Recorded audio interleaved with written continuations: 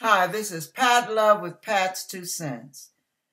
This is God's Church of Love online, our Tuesday chat and fellowship session. The subject's going to be another one of my weird topics. It's going to be an analogy, so I hope you understand what I'm saying as I try to make it plain. Ready, set, go. All right. Listen, have you ever walked down the street, had a nice walk, beautiful sunny day, everything's going fine. You may not be wearing your Sunday best or your work best or your church best, whatever, but you're dressed decently and your shoes are in good shape. And the reason I mention your shoes is because, whoops, uh oh, you stepped in some dog doo doo. Oh, crap. Gets on your nerves, doesn't it, when that happens? Like, why can't people watch their dogs and get rid of that mess? Well, here you are, all caught up in dog doo. And now you got to get that mess off your feet, off your shoe. Now, here's my question to you What's the first thing you tend to do? You take your shoe off, you scrape it on the curb, trying to get as much off as possible. Then you put your shoe back on and you find some grass and you rub it on the grass and scraping it on the cement. You do everything you can to get all the residual nastiness of the stench off of you. You don't want to smell that mess. You sure don't want to track it in your house. Well, now, let's flip that over. Let's flip that picture over. Imagine you walk in some dog doo doo. You keep walking. You don't try to clean it off. You carry that doo doo everywhere you go, and now you're heading home and you track that mess in your house, on your floor, on your carpets. Your house is starting to smell because that mess was so thick and gooey and uh, uh, and you're not doing anything to clean it off. Now, that sounds like something an insane person would do, doesn't it? But do you know we do that every day? We do it every day, and you're wondering, how, how, how, how do we do that? When you let somebody else's nonsense ruin your day, when you let somebody else's foul attitude screw up your emotional disposition for the day, when you let somebody else's nasty uh, uh, words and nasty attitude and nasty um, uh, countenance rub off on you. Their mess spews off on you, and you receive it. You accept it, and you walk around because of them with a foul attitude that you didn't even start out with. Your day was beautiful. The sun was shining. The birds were tweeting. It was wonderful. The breeze was flowing through the trees. But now you come to work, and little funky attitude over there is spewing their nonsense, just like the hippopotamus. You know how they do when they want to get everybody away from them? They'll they'll uh, have a movement, let's say that, and they'll use their tail and fan it so it splatters all over everybody, everything. That's what people do with their attitudes. And you come in to their presence, you're in their surroundings because you got to work together or you're at the store, wherever you are, you're in the presence of a hippopotamus with a bad attitude, fanning it everywhere, and it gets on you. And you don't clean it off and get rid of it and, you know, shake it off. No. Or pray it off, which is the best thing to do. No. You let it stay on you and you walk all day long with your little nasty attitude because you have received their ugly and you have allowed their ugly to get on you and you have received and adopted it as your own ugly. And you walk around now, your attitude is foul and you're snapping at people and you're fussing and you've got this negative attitude and this negative outlook on the day and everything is jacked up and messed up and screwed up and you know, like we were talking earlier, you know, you, sometimes the day gets so ugly, you're like, I just hate people. You know, well, we all go through that. But I'm talking about when a person's attitude is nasty and that person is ugly towards you and you turn ugly and you take their ugly and you help them spread it by being ugly to other people around you instead of scraping that crap off of you, shaking it off, praying it off, rebuking it. No, you give in. They nasty to me, I'll be nasty to them. And now then, been nobody else better not mess with me today. I'm in a butt kicking mood, Jack. And you just go all day long. You got that dog doo doo all over you. You're walking it and spreading it. Everything you touch, there's doo doo, doo doo. You're just smearing it everywhere. It's your attitude. Now, you can allow people, the devil, circumstances, whatever you want to call it, you can allow all of that to sour you if you want. Or you can repossess your land and say, uh uh-uh, uh, no, no trespassing here, buddy.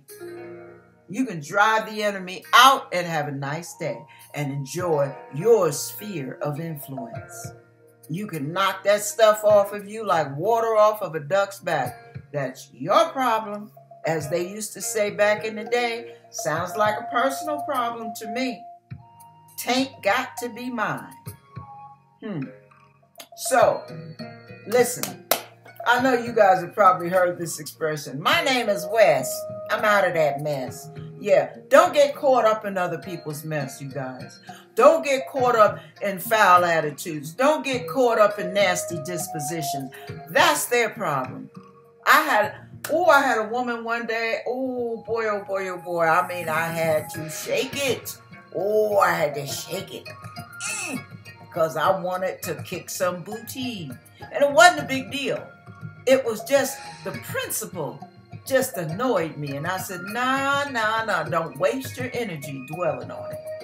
I had gone to the bank.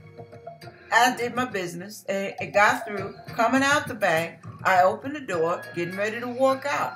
Well, there was a woman about 50 feet away from me. I could have walked out, gone on about my business. Didn't hurt her to open her own door. But I felt nice that day.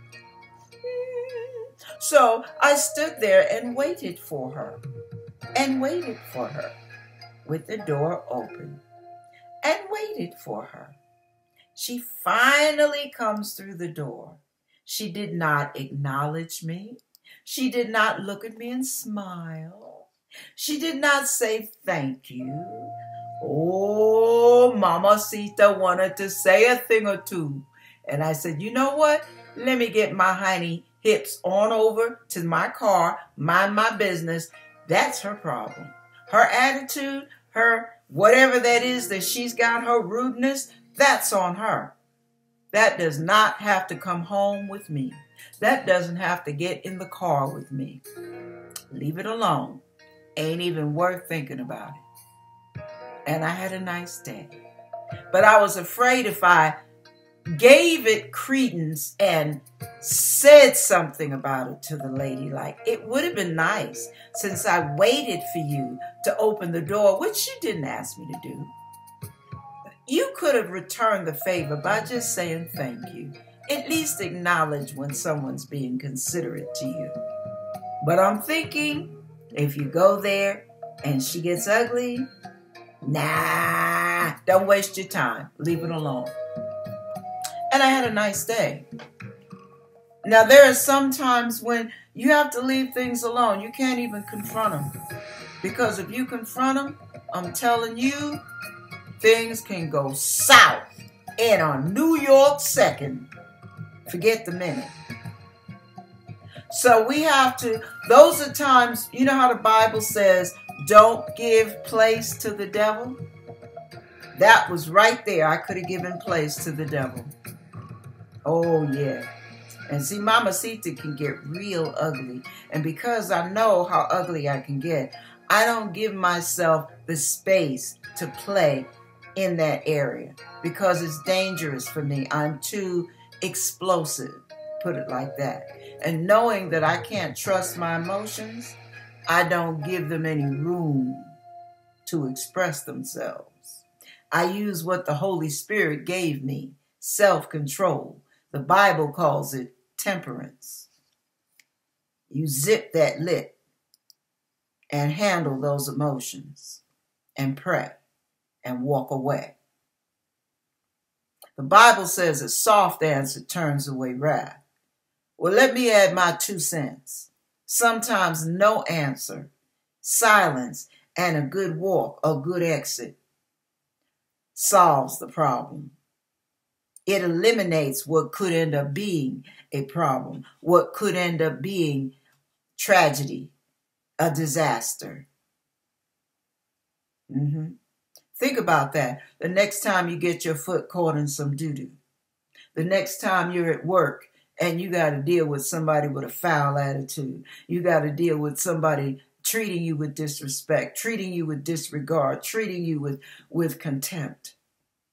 Make sure you remind yourself this is doo doo. I'm going to scrape it off the bottom of my shoe and keep on stepping.